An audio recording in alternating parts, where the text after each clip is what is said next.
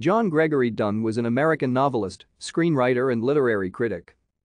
Dunne was born in Hartford, Connecticut and was a younger brother of author Dominick Dunne.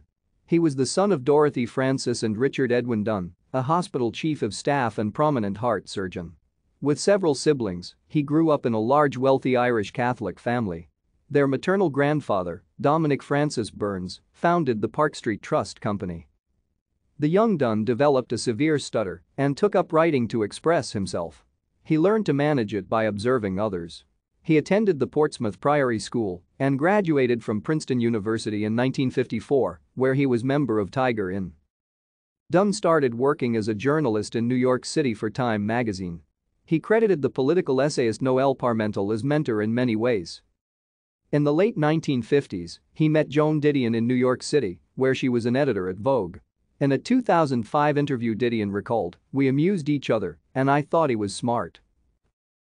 Thank you for watching. Like and subscribe if you would like to view more of our videos. Have a nice day.